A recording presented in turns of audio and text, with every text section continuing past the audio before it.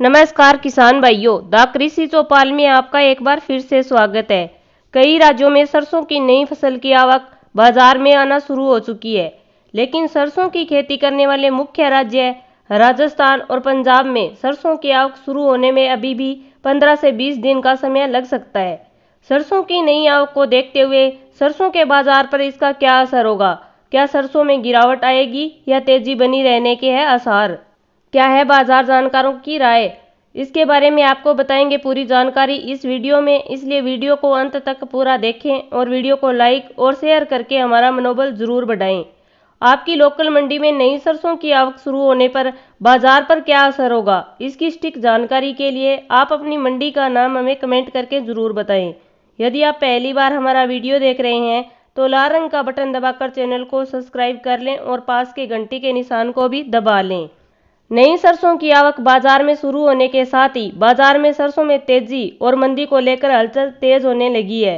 बाज़ार जानकारों की माने तो नई सरसों की आवक शुरू होने के बाद लगभग एक महीने तक सरसों के बाज़ार में हल्की गिरावट देखने को मिल सकती है।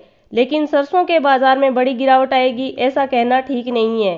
क्योंकि सरसों की बाज़ार मांग को देखा जाए तो सरसों की बाज़ार मांग आज आने वाले दिनों में भी इतनी ज़्यादा बनी रहने वाली है जिसे नई सरसों की आवक शुरू होने पर भी पूरा नहीं किया जा सकता है।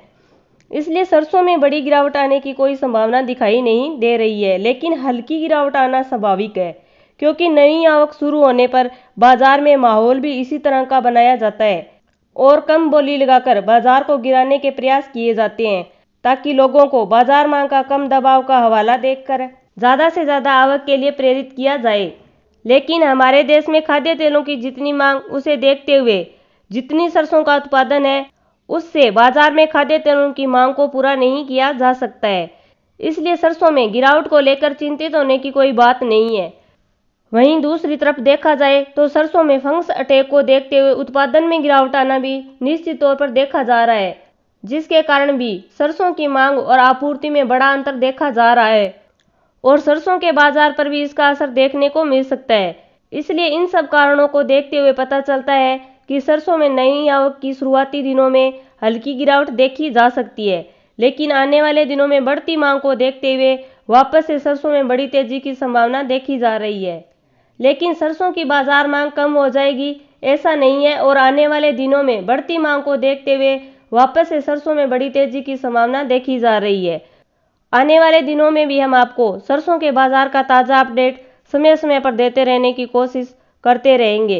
इसलिए देखते रहें द कृषि चौपाल। जय हिंद, जय किसान।